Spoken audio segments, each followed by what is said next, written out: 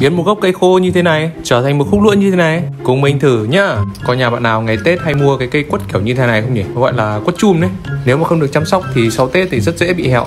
Điển hình như cây quất này của nhà mình năm vừa rồi. Do là bố mình tưới quá là nhiều nước nên là nó bị úng rễ và chết. Đột nhiên thì nhìn cái gốc này thì mình lại liên tưởng đến những cái bộ lũa mà anh em thủy sinh hay chơi, đúng không nào? Vậy thì mình sẽ thử làm cái gốc cây này trở thành một cái cây lũa để chơi thủy sinh nhá. Đầu tiên phải làm sạch nó trước đã. Dùng vòi nước xịt hết các đất bẩn đi không biết các bạn nào chơi thủy sinh mà đang xem video này thì hãy cho mình ý kiến ở phần bình luận nhá. Vì mình cũng không biết là cái gốc quất này có thể làm cái lũa chơi thủy sinh được hay không. Vậy nên là mình rất cần những bạn có kinh nghiệm chơi thủy sinh rồi có thể góp ý cho mình để mình có thể hoàn thiện hơn sau khi mà rửa hết các lớp đất bẩn đi thì mình phát hiện ra là còn một cái lớp vỏ bên ngoài nữa. Và tất nhiên là cũng phải loại bỏ cái lớp vỏ này đi rồi. Những cái nhánh rễ màu đen kia chắc hẳn là cũng bị ngâm nước khá là lâu rồi nên là mình chuyển màu như vậy. Tiếp theo thì mình sẽ mang cái khúc lũa này đem đi luộc nhá.